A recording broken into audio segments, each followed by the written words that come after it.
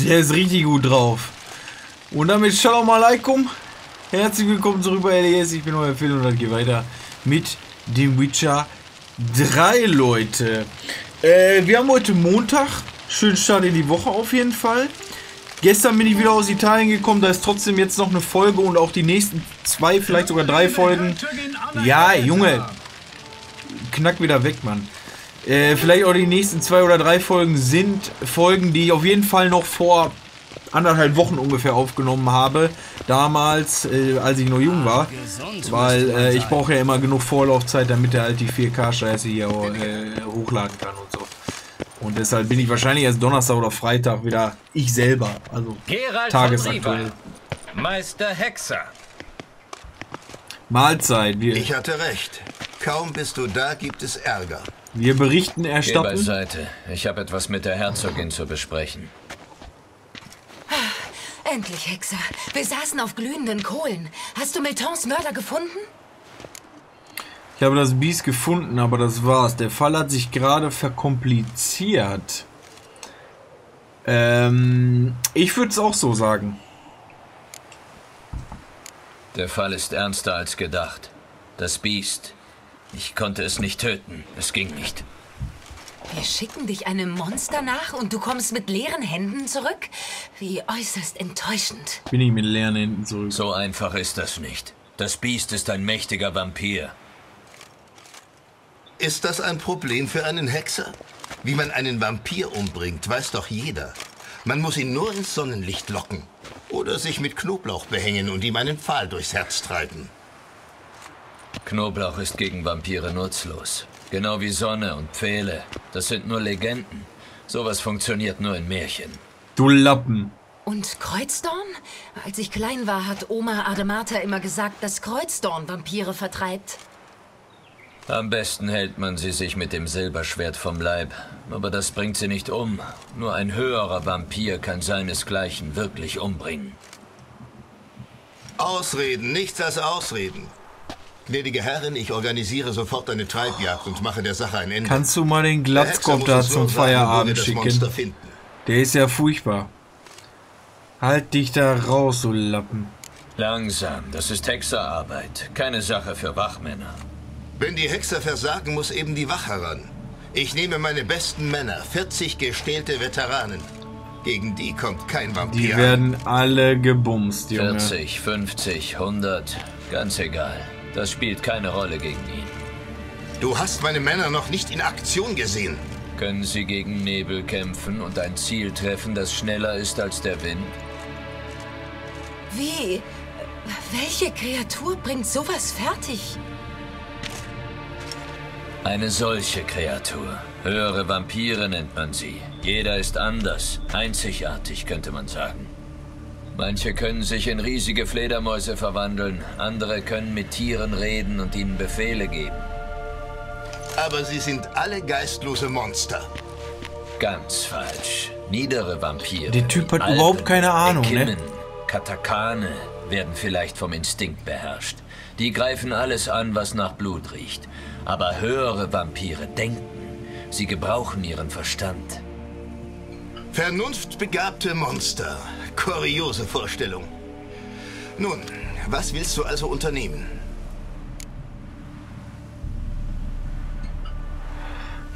Also die Sache ist ja jetzt, wir wollen ja seine Frau, also die, wie hieß sie nochmal, Rennerwitt oder so, die erstmal finden, damit die Erpresser kein Druckmittel mehr gegen den Tetzlaff haben. Und ähm, ja, wir gehen, wir machen das jetzt erstmal. Am besten versuchen wir mit ihm zu reden. Nicht zu fassen. Da bestellt die Herrin einen Hexer, damit er ein Monster tötet, und er möchte mit ihm schwatzen. Ich weiß, was ich tue. Seine Liebste wurde entführt. Er wird erpresst. Erpresst? Erläutere doch freundlicherweise, wie man einen Vampir erpresst. Höhere Vampire sind uns ähnlich. Sie werden von Emotionen angetrieben, nicht vom Instinkt. Sie sind nicht nur sehr intelligent, sondern auch zu vielfältigen Gefühlen fähig. Sogar zu Liebe. Dieser hier hat sich in einen Menschen verliebt, in eine Frau. Er würde alles tun, um sie zu schützen. Du willst doch wohl nicht andeuten, dass wir Miltons Mörder ziehen lassen sollen. Oder darauf warten, dass er wieder zuschlägt. Wir müssen ihn so schnell wie möglich unschädlich machen. Eins nach dem anderen. Ich finde die Erpresser und befreie die Geliebte des Vampirs. Dann hat er keinen Grund mehr zu morden. Du sollst ihn vernichten, nicht ihm helfen. Am wichtigsten ist es, dass niemand mehr stirbt. Sobald die Frau in Sicherheit ist, hat er keinen Grund mehr zu töten.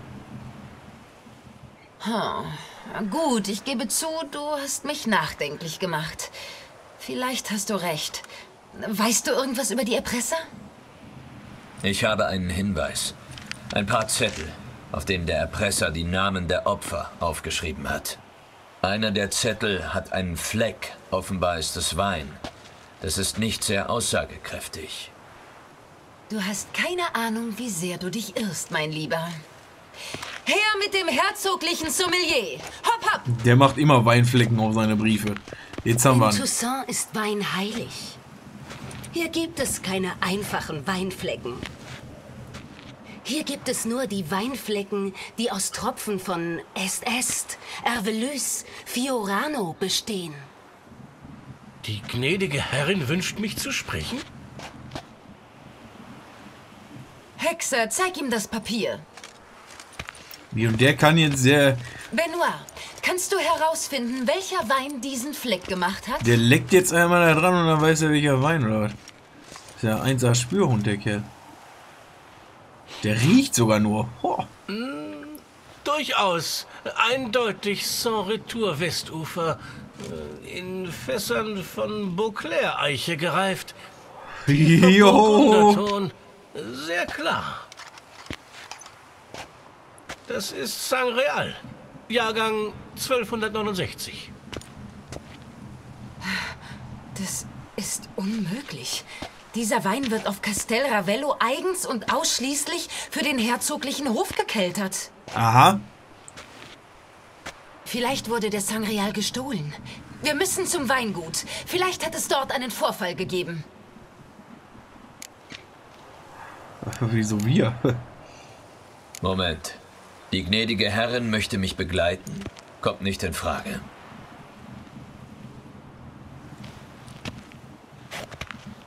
Du glaubst ja wohl nicht, dass wir auf unserem herzoglichen Hintern rumsitzen, während das Herzogtum in ernster Gefahr ist. Also die mag ich. Gnädige Herrin, was du vorschlägst, ist zu riskant. Der Hexer muss alleine gehen. Es ist erfreulich, dass die Herren sich ausnahmsweise mal einig sind, aber meine Entscheidung ist getroffen. Wir brechen auf. Wir haben die bestmögliche Eskorte. Dich, Hauptmann, und Gerald. Streich den Wir Hauptmann, dann ist er die beste reisen. Eskorte. Der Hof braucht keinen Anlass zum Tratschen. Der zielt halt den Für Spiegel die Dauer ziemlich dieser runter. Mission entbinde ich euch von der Verpflichtung, dem Hofprotokoll zu folgen. Das bedeutet, ich bin jetzt Anna Henrietta, nicht eure edle Herrin. Jawohl, edle Herrin. Hexer, bist du bereit? Äh, ich brauche noch Zeit. Äh, oder nö, wir gehen. Ja, bin bereit. Wunderbar. Augenblick noch. Ich muss mir etwas angemessen Dezentes anziehen. Dann brechen wir auf. Also spätestens in den nächsten Folgen irgendwann werden wir eine, die Handbremse ziehen in Sachen Hauptstory, sollte die dann äh, noch nicht vorüber sein, und werden ein paar Nebenquests und Fragezeichen abarbeiten, damit wir die Skillpunkte für unser geiles Bild haben. Weil spätestens auf Stufe 49, so habe ich das nämlich bei dem Typen gesehen, sollte es möglich sein, wenn man denn dann halt auch äh, einige hier von den magischen Steinen da eingesammelt hat.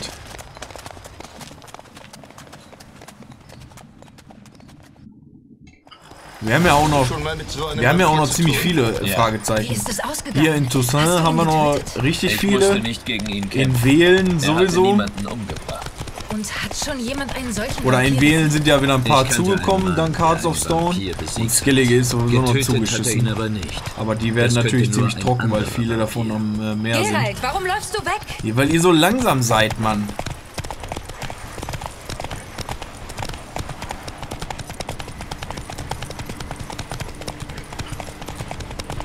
Ist auch äh, die richtige Entscheidung, nachts loszureiten mit der Königin.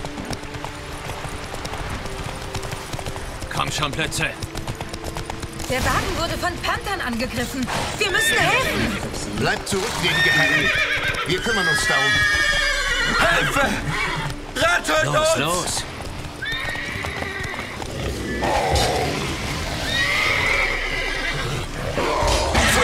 Würdest du vielleicht dein Schwert ziehen, Gerold, oder?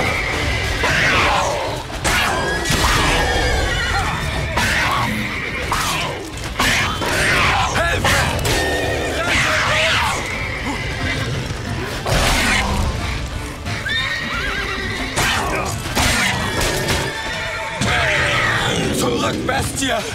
Verst... So. Gehen wir weiter. Wenn... Wenn ihr nicht gewesen wärt... Ihr Glück, dass wir gerade vorbeigekommen sind. Vielen Dank. Ihr habt uns das Leben gerettet. Ja, ja, kein Thema. Erzähl mir mehr über dieses Weingut. Castel Ravello. Das Beste in ganz Toussaint. Der Betreiber ist ein alter Winzermeister, Fabrizio. Kann man ihm trauen? Er hat den Posten seit Jahren. Bislang gab es keine Probleme. Sag mir, was du denkst, Gerald. Wie ist der Sangreal auf das Papier gekommen? Ist jemand auf dem Weingut der Erpresser? Vielleicht ein Diener, vielleicht der Verwalter. Vielleicht wurde der Wein auch einfach aus dem Anwesen gestohlen. Wir werden es erfahren, wenn wir eintreffen. Es ist nicht mehr weit.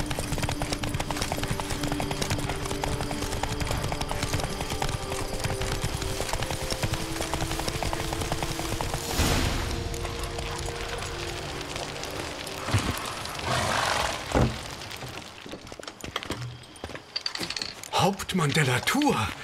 Wir hatten gar keine Besucher aus dem Palast erwartet. Wie steht es denn am Hof? Du hast zweifellos vom Biest von Beauclair gehört. Wir haben alle Hände voll zu tun. Erst recht, da die Kreatur zuletzt in den Palastgärten angegriffen hat. Ich. Äh, der gnädigen Herrin ist doch nichts widerfahren. Nett, dass du fragst, Meister Fabrizio. Ich bin wohl auf. Gnädige Herrin, man hat uns nicht informiert. Ich lasse sofort den Salon vorbereiten. Das ist nicht nötig. Wir sind nicht offiziell hier, wie du siehst. Natürlich. Äh, Darf ich fragen, was dich zum Castel Ravello führt?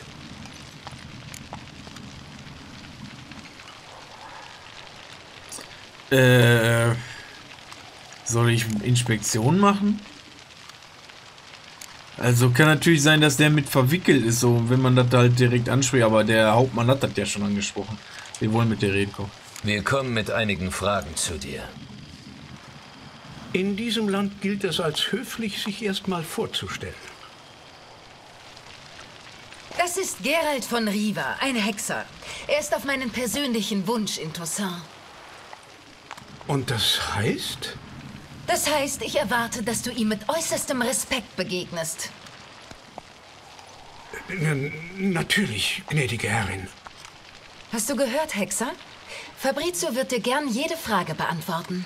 Gut. Reden wir über Sangreal. Ich stehe zu Diensten. Wurde Wein gestohlen. Womöglich wurde ein Teil des Weins gestohlen. Es ist nur so eine Idee. Gab es in letzter Zeit Diebstähle? Diebstähle? Nicht, dass ich wüsste. Vor ein paar Tagen habe ich mir noch das Lager angesehen. Es ist alles vollzählig. Die Fässer sind im Keller gut aufgehoben, das versichere ich. Okay. Der Sangreal. Wie viele Arbeiter haben Zugang dazu? Eigentlich nur ich.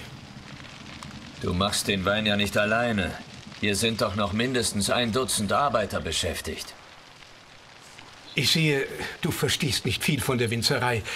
Trauben haben einen langen Weg vor sich, bis sie zu Sangreal werden. Die Arbeiter unterstützen mich nur bis zu der Fermentierung. Die Mazeration überwache ich alleine. Niemand kommt in die Nähe der Fässer. Beim Abfüllen helfen mir die Arbeiter wieder, aber dann versiegle ich die Reifefässer persönlich, jedes einzelne. Der Wein wird im Keller gelagert und reift. Wenn diese Phase abgeschlossen ist, haben wir Sangreal.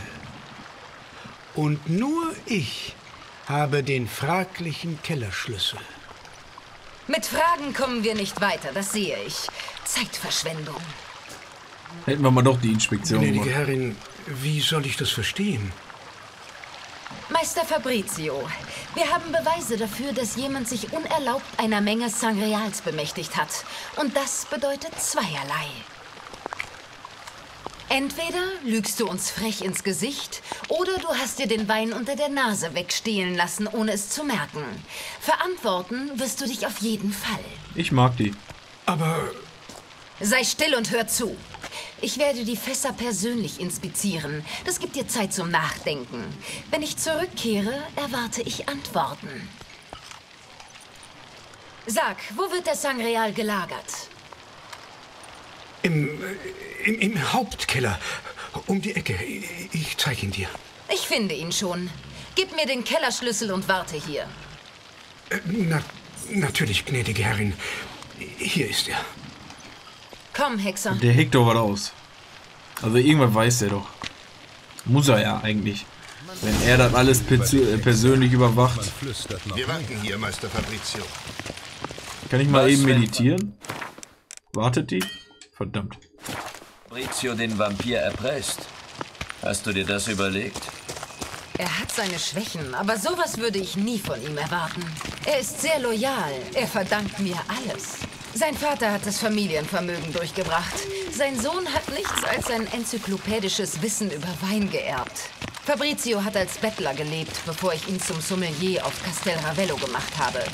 Seitdem kann er erst seine wahren Fähigkeiten einsetzen.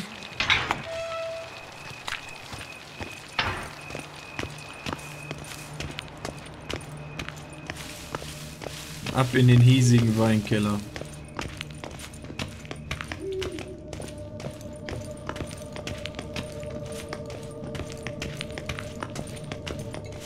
Also, wo fangen wir an?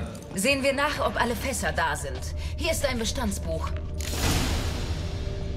Lies das Weinregister. Das Winzerprotokoll. Fermentierung komplikationsfrei abgeschlossen. Anstich über Druse. Hier, Abfüllung. Hm. Auf den ersten Blick scheint alles in Ordnung und sauber dokumentiert. Dann müssen wir die andere Spur verfolgen. Benoit sagte, beim Flecken handele es sich um einen 1269er Jahrgang. Finden wir den. Finde Sangreal des Jahrgangs 1269. Nee, das ist falsch. Hervelys. Richtige Den ja, mag ich. aber Schön trocken. falscher Wein. Hervorragender Erstmal Wein. Sachen klauen. Ja. Nee, auch nicht. Est, est. Diesen Wein kennt ja nun wirklich jeder. Gehört zu den besten Weinen der Welt. Castel Ravello ist dafür berühmt. Fiorano. Rittersporn ist ganz wild darauf. Ach ja, sein verwöhnter Gaumen. Pomino. Hier drüben ist Pomino. Ey, hatte ich jetzt schon alle?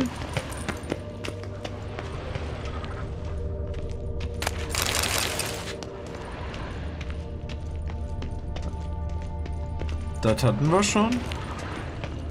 Hä? Ach, hier geht's auch hoch, verdammt. Komm ich denn hoch? Hier. Ja, da haben wir eben eine Katze reingeholt. Sangreal, aber 1270. Sangreal, Jahrgang 1270. Das ist der falsche Jahrgang. Such weiter. Das würde schneller gehen, wenn sich Fräulein Herzogin auch bemühen würde und mir mal aus dem Weg gehen würde, Mann.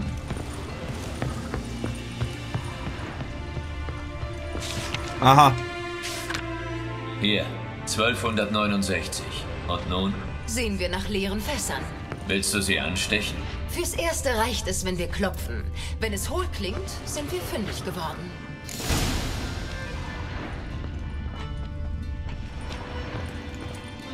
Hallo. Voll. Voll.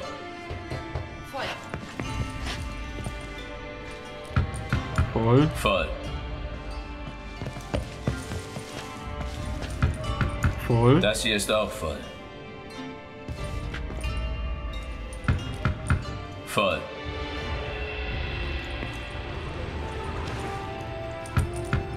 Das hier ist auch voll. Sieht aus, als wären alle Fässer voll. Sackgasse, fürchte ich. Voll sind sie schon. Aber ist auch Sangreal drin? Aha. Nimm einen Hahn und einen Hammer. Wir öffnen sie und probieren. Fertig. Wir können anfangen. Bereit. Geht zur Seite.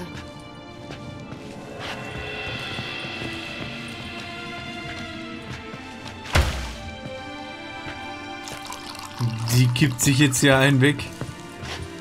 Gleich kann ich nichts mehr Und? mit der anfangen. Hm, diese Gewürznoten, einmalig. Das ist Sangreal.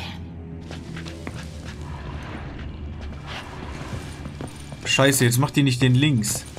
Ich hätte, glaube ich, warten sollen. Ah, ne, die geht doch noch. Gott sei Dank, ey. Das wäre jetzt ein geiler Bug gewesen. Ich warte bei den anderen lieber.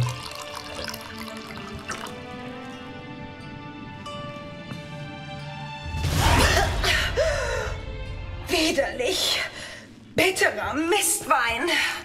Direkt wieder 600 Vielleicht ist er umgekippt. Unmöglich. Das ist kein Wein, sondern übler Unrat, der nie ein Fass von innen hätte sehen sollen. Es kann kein Zufall sein, dass er trotzdem in einem Fass ist. Meister Fabrizio. Mal sehen, was der dazu zu sagen hat. Jetzt bin ich gespannt, ey.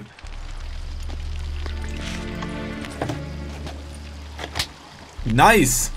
Meister Fabrizio, ich bin sehr enttäuscht. Erstmal der Pimp-Slap, ey. Aber gnädige Herrin, ich... äh, Du bist einen Schritt davon entfernt, den Kopf zu verlieren. Sag die Wahrheit, dann behältst du ihn vielleicht. Sprich. Ich... Ich gestehe alles. Ich habe ein Fass Sangreal verkauft. Bitte, vergib mir. Warum hast du das getan? Ich konnte nicht widerstehen. Sie haben eine abenteuerliche Summe gezahlt. Da bin ich schwach geworden. Bezahle ich dir nicht genug? Ich wollte unseren Familiensitz zurückkaufen. Das hier gehört mir nicht. Gut, ich habe ein Dach über dem Kopf und genug zu essen, aber was ist ein Edelmann ohne eigenes Land? Ich werde alles sagen, aber bitte erweise mir Gnade. Wem hast du den Wein verkauft? Vor ein paar Wochen hat ein reicher Edelmann mich in der Fasanerie angesprochen. Er behauptete, Diplomat zu sein und Verbindungen zum Hof zu haben. Er schlug mir ein gemeinsames Unternehmen vor. Er hatte Kunden, die schon für einen Tropfen Sangreal ein Vermögen hinblättern würden. Er wollte als Mittler fungieren. Wie heißt der Mann? Das hat er nie gesagt. Er war groß, schwarzhaarig und sprach mit Akzent, behauptete aus Zintra zu stammen. Ich habe keinen Edelmann aus Zintra am Hof. Und wie wurde der Wein übergeben? Wir haben uns im Schutze der Dunkelheit in den Ruinen von Forastre getroffen. Ein Dutzend Männer kam zur Abholung. Bewaffnete. Die Sorte, die nach Ärger riecht. Ich brachte ein Fass, das sie auf einen Wagen luden, und dann trennten sich unsere Wege. Das ist alles? Da hast du sie zum letzten Mal gesehen? Naja, vor ein paar Tagen traf ein Bote ein. Er sagte, sie wollten ein weiteres Fass kaufen. Und äh, das habe ich bereits für die Lieferung vorbereitet. Gut. Doch super. Das reicht. Wir wissen, was wir wissen müssen. Gnädige Herrin, ich flehe dich an. Vergib mir. Geh mir aus den Augen. Hauptmann, lass Meister Fabrizio in den Kerker bringen. Er muss sich für sein Verbrechen verantworten. Vom Bettler zum. Knasti, ey. Fabrizio, was ist los mit dir? Und was jetzt, Hexer? Wir stellen eine Falle. Wir müssen die Weindiebe fangen. Der Edelmann aus Zintra könnte der Erpresser sein. Ich bringe die nächste Fuhre nach Fort Astre. Damien und seine Soldaten begleiten mich. Ausnahmsweise bin ich mal deiner Meinung. Wir machen es, wie du sagst. Gib mir Bescheid, wenn du bereit bist. Äh, ja, warte kurz. Moment noch. Beeil dich. Wir warten nur auf dich. Gut. Ich will nur eben meditieren. Sechs Stunden. Das kann ich jetzt nicht tun. Wieso nicht? Wieso kann ich das jetzt nicht tun?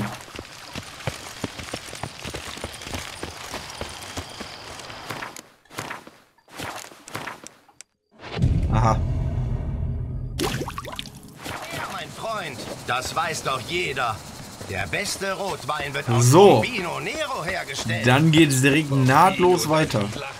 Meine Männer sind bereit. Auf dein Wort brechen wir nach Vorastre auf. Es ist an der Zeit, diese Weindiebe zu schnappen. Es gibt keinen Grund zu warten. Legen wir los. Wir brechen sofort auf und gehen in Stellung, bis du eintriffst. Let's Du go. nimmst den Wagen. Wir sehen uns dort. Gut. Achtet während der Übergabe auf mein Signal.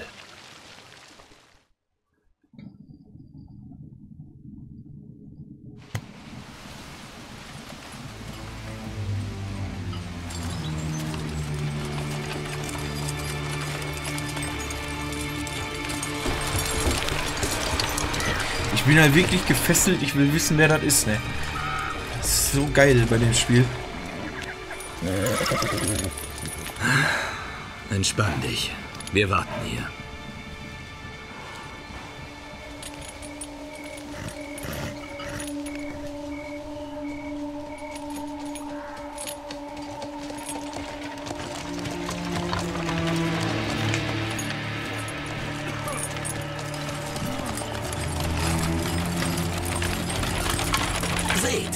Unser lieber Winzer. Er sieht aber anders aus auf einmal.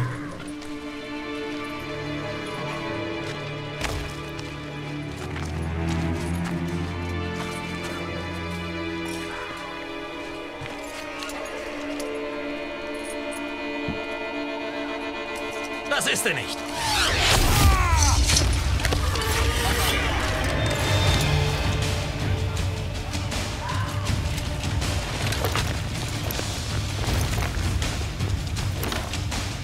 Jetzt wird gebumst.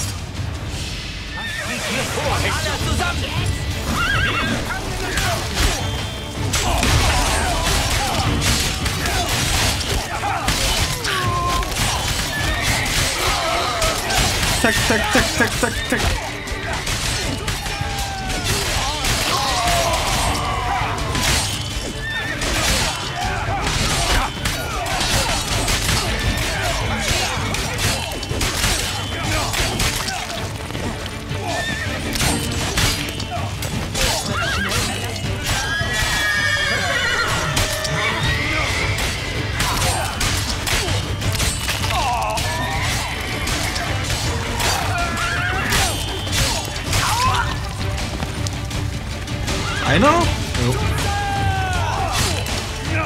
Bist alleiner gegen alle. Ey, leg die Waffen nieder. Zu spät.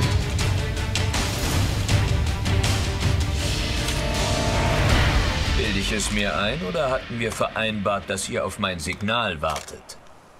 Das war der Plan, aber Toller Schuss. Gut, dass du was getan hast. Ich weiß nicht, wie es sonst ausgegangen wäre. stets zu Diensten. Es war ein guter Kampf. Einen der Sträucher haben wir geschnappt. Stellen wir ihm ein paar Fragen. Los. Augenblick mal, Hexer. Ich habe mich in dir getäuscht. Aha. Besser später als nie. Du hattest keinen Grund, mir zu vertrauen. Eigentlich schon, weil die Herzogin hat mir vertraut. Wir müssen uns ja nicht mögen, sondern nur unsere Arbeit tun. Wenn du es so sehen willst. Jedenfalls sehe ich, wie du dich ins Zeug legst. Ich weiß das zu schätzen. Gehen wir zur gnädigen Herrin. Sie wartet in der Nähe. War klar, dass sie kommt. Ich bin nicht überrascht. Ich dachte mir, dass sie das hier persönlich überwachen will. Das Auge des Herrn macht das Kalb fett. Du fängst an, das zu verstehen, wie ich sehe. Bringt mir diesen Gefangenen. Wir müssen ihm einige Fragen stellen.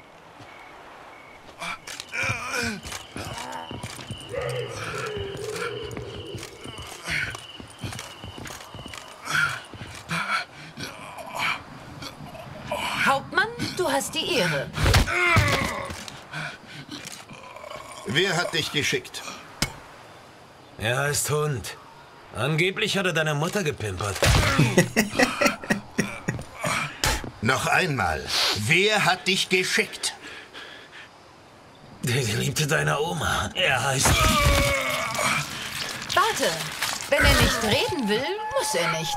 Er kann sich noch auf andere Arten nützlich machen. Sicher braucht der Hexer einen Köder, um das Biest von Beauclair anzulocken. Was?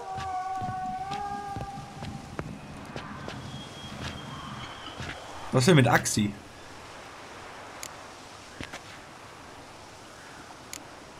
Ja, wir setzen ihn weiter unter Druck und sprechen der Herzogin erstmal zu. Klar, ich habe gerade keinen mehr. In dem Fall gehört er dir. Hauptmann, deine Männer sollen mir ein starkes Seil holen. Es soll nicht gleich reißen, wenn man einen Mann an einen Baum aufhängt. Seil? Lebendköder. Eignet sich ideal für Monster, sofern sie den Blutgeruch wittern. Aber dafür sorge ich. Was? Nein, um Himmels Willen! Lass sie das nicht! Hör auf zu schreien. Du hast noch eine lange Nacht vor dir. Nein, lass das nicht zu! Ich rede! Dann rede. Wer hat dich angeheuert? Er, er wird mich umbringen. Du solltest dir lieber Sorgen wegen mir machen. Wer ist es? Komm schon, Mann, raus damit! Der Zentria. So nennt man ihn. Ich habe ihn nie gesehen. Aber ich weiß, dass er die Männer für dieses Ding angeheuert hat. Das haben sie gesagt, dass wir für den Zentria arbeiten. Mehr weiß ich nicht. Ich schwöre es.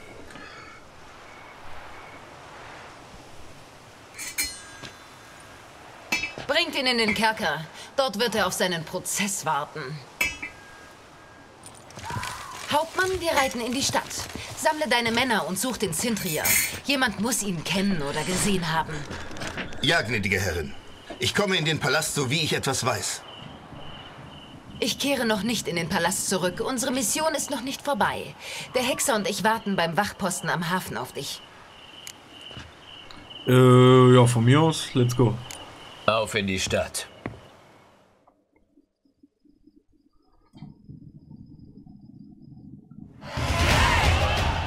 Oh, wieder ein Level Up. Es gibt so fett Erfahrungspunkte, das ist einfach geil. Er ist spät. Entspann dich. Er kommt schon. Ich möchte wirklich mal wissen, wie man so verdammt ungerührt bleiben kann. Unmenschlich. Nebenwirkung der Mutationen. Hexer verlieren selten die Nerven. Was, wenn ihm etwas zugestoßen ist? Der Hauptmann scheint gut auf sich aufpassen zu können. Mag sein, aber dieser Zintria kommt mir nicht wie ein gewöhnlicher Bandit vor. Es ist ihm gelungen, herzoglichen Wein unter der Nase der Wache wegzuklauen. Wir haben nur durch einen Zufall davon erfahren. Und er hat dem Vampir die Opfer benannt. Man muss schon ziemlich von sich überzeugt sein, um ein solches Monster zu erpressen. Zintria könnte auch ein Mittelsmann sein. Dort auf jeden Fall. Er hat einen Fehler gemacht, der uns nützt, aber der könnte Mittelsmann sein, ja. Wir wissen immer noch nicht sicher, ob der Zintria hinter der Entführung steckt. Vielleicht hat er sich nur um den Weinklau gekümmert. Selbst dann hätte er den Wein immerhin an die Entführer verkauft. Das macht ihn in meinen Augen zum Komplizen. Wir müssen den Zintria finden, ob er nun dahinter steckt oder nicht. Auch wenn er nicht dahinter steckt, könnte er doch wissen, wer der Erpresser ist. Außerdem, den Auftraggeber zu kennen ist eins. Dann wüssten wir immer noch nicht, weshalb... Da kommt jemand.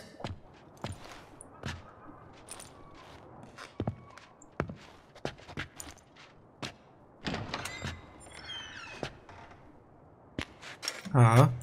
Hauptmann, warum kommst du so spät? Wir haben dich vor Stunden erwartet. Dieser Zintria arbeitet nicht alleine. Wir haben es mit einer ganzen Organisation zu tun. Wir wurden von Banditen angegriffen. Es waren nicht mal wenige. Einer meiner Männer hat einen Armbruch, dem anderen ist das Knie zerschlagen. Für immer gelähmt. Und auf der Straße heißt es, auf deinen Kopf sei ein stattlicher Preis ausgesetzt, Gerald. Hä? Ja, wäre nicht, also gehen wir gar nicht weiter darauf ein, das lässt uns völlig kalt. Ist mir egal. Zum Geschäft. Hast du etwas erfahren? Ich fange von vorne an. Wir haben das Lagerhaus am Hafen gefunden, in das der Wein geliefert wurde. Und den Pächter dazu. Das war ein Bettler, ein Strohmann. Als wir ihn fanden, gab er gleich alles zu. Ein Mann habe ihm das Geld für die Pacht gegeben, hatte ihn angesprochen, als er vor der Fasanerie bettelte.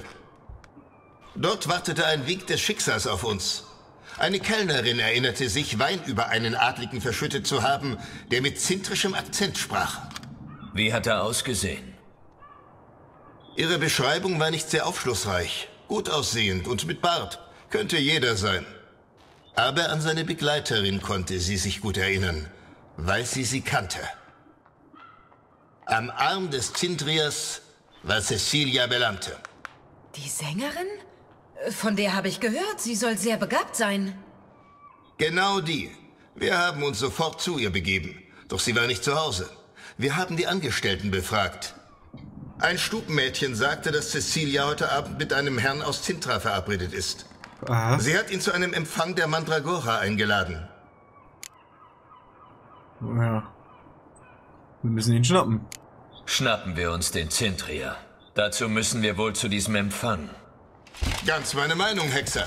Ich sammle meine Männer und umstelle das Gebäude. Da kommt kein Mäuschen durch. Kommt nicht in Frage.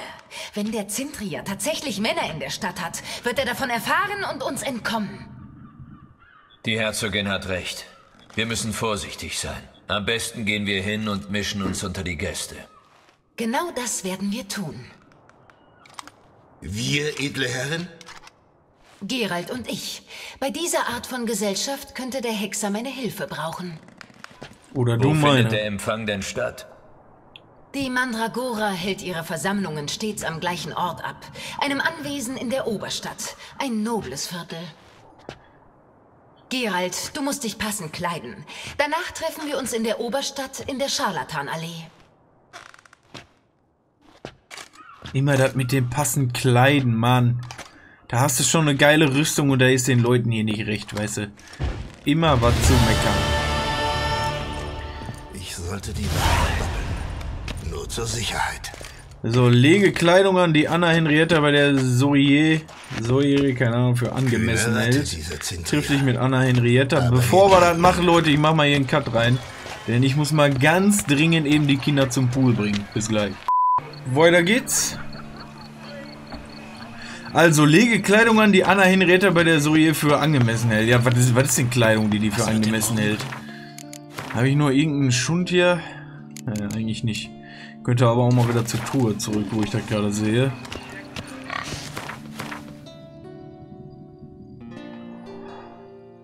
Ja, wir gehen... Ach so, warte mal.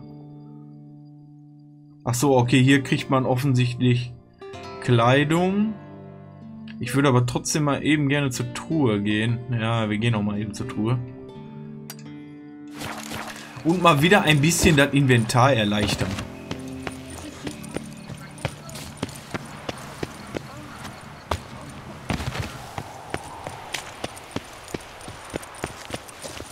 So, Löckchen. So kleine Stammbisch.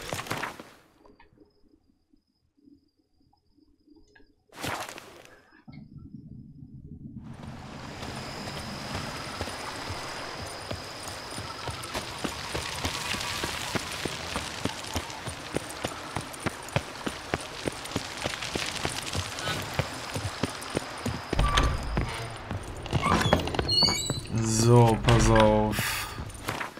Also, ich würde sagen, pass auf, das ähm, packen wir erstmal rein. Das packen wir auch erstmal rein. Werden wir wahrscheinlich nicht brauchen. Das ist eigentlich sogar ein ganz gutes Stahlschwert. Vielleicht gehen wir das hinter, also nehmen wir das hinterher mal schauen. Im Feuer geschmiedet, die könnten, also die gelben können wir doch eigentlich wegtun, oder? Obwohl, also komm, man, wir, wir können sie ja immer noch verkaufen oder zerstören, da ist ja kein Problem. Klar, die blauen Sachen, die können sowieso weg, das außer Frage auf jeden Fall. Ähm, aber zerstören oder verkaufen können wir immer noch. Ich habe halt die ganze Zeit im Hinterkopf, was äh, einer von euch sagte, nämlich, dass man halt hinterher extrem viel Kohle braucht. Und ähm, ja. Deshalb, ich denke so ein bisschen dahin voraus.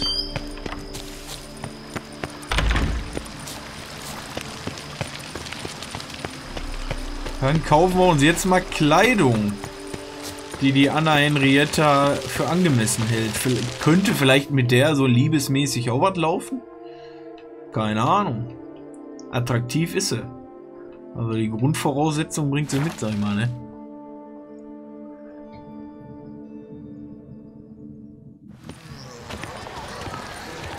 Baguette und Wein sind der ja. angenehmste Zeitvertreib. Einmal kurz meditieren, damit alle Tränke wieder da sind. Ich will ja nicht aufdringlich sein, aber hast du nicht das Turnier gewonnen?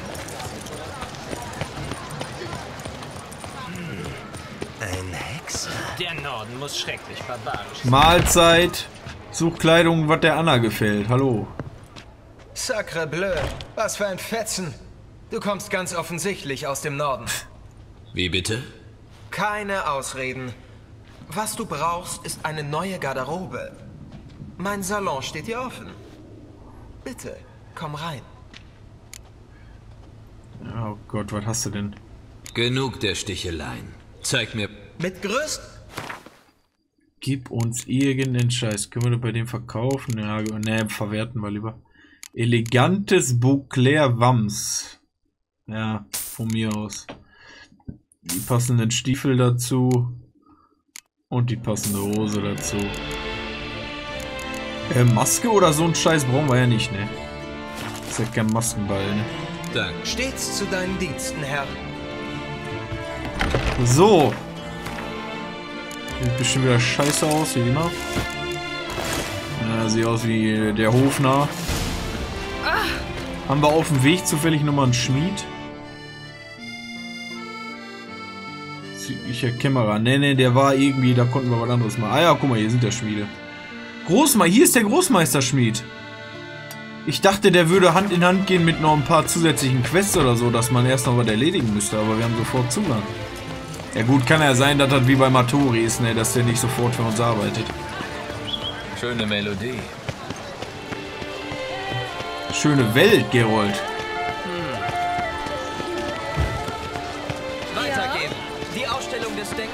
Reginald Aubry bleibt bis auf weiteres Geschlecht. Halt die Hände still. Nachtliebe und Wein verleihen. So, wir sprechen mal eben mit dem Großmeisterschmied. Nur ein Hexer kann das Biest. Hallo, Lafagu. Hallo. Ein Hexer aus der Wolfsschule, hier in Toussaint. Sei gegrüßt, ich bin Lazar Lafargue. Gerald von Riva. Er kennt sie aus. Du scheinst dich ja zu freuen. Hast du Arbeit für mich? Und ob, keine Monsterjagd, aber gewiss interessiert die Sache dich trotzdem. Ich bin Rüstungsschmied und suche schon seit Jahren nach Schemata für Hexerrüstungen von außergewöhnlicher großmeisterlicher Qualität.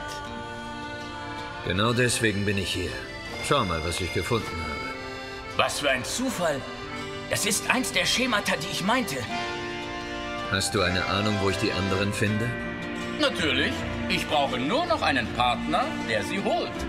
Gegen angemessenen Lohn, versteht sie. Du hast mich. Ja, lass, dann fragen wir mal. All diese Schemata sind irgendwie nach Toussaint gelangt. Wie war das möglich? Toussaint war die Heimat von Tienzel, einem legendären, leider verblichenen Elfen- und Rüstungsschmiedemeister. Von ihm ließen Hexer aus aller Herren Länder ihre Platten- und Kettenrüstungen anfertigen. Von dem habe ich gehört. Er soll der Beste gewesen sein. Er hat auch entsprechende Preise genommen. Die Hexer mussten oft besonders schwierige, gefährliche Aufgaben erfüllen, um sich seine Rüstungen leisten zu können. Einige hatten das Pech, dass ihnen dabei etwas zustieß. Und die Schemata liegen heute noch bei ihren Gebeinen. Okay. Verstehe. Wer sie findet, hat auch die Schemata. Aber woher weiß ich, wo ich suchen muss? Zufällig bin ich bei Tienzel in die Lehre gegangen. Ich habe also die Geschichten der verschollenen Hexer von ihm aus erster Hand gehört. Nice. Was er mir erzählt hat?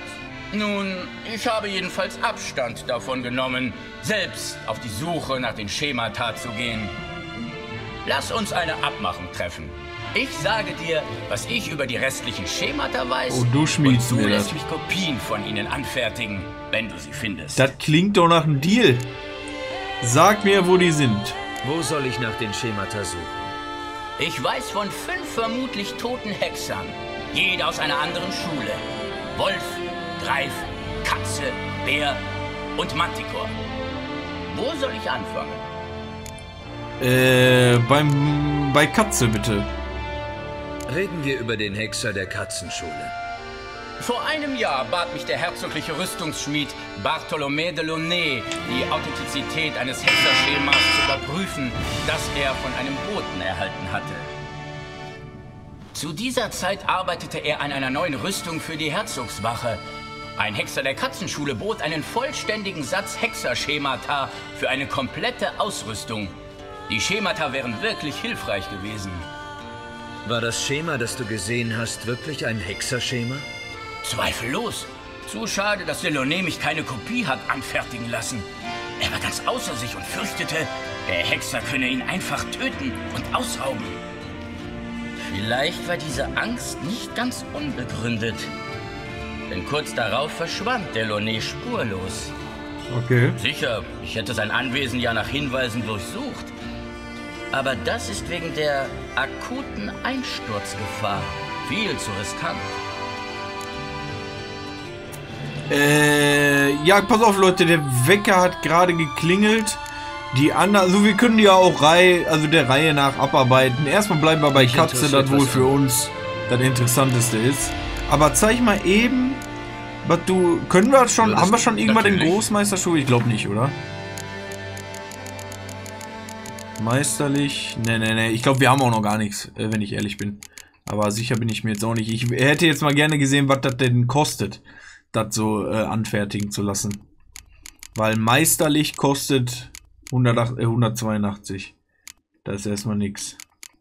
Aber naja, okay. Äh, pass auf, wir zerlegen nochmal eben hier die blauen, das blaue Zeug.